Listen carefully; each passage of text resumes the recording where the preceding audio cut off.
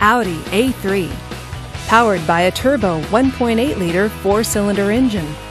With a six speed manual transmission, this vehicle is well equipped. This Audi features power windows, power door locks, and rear spoiler.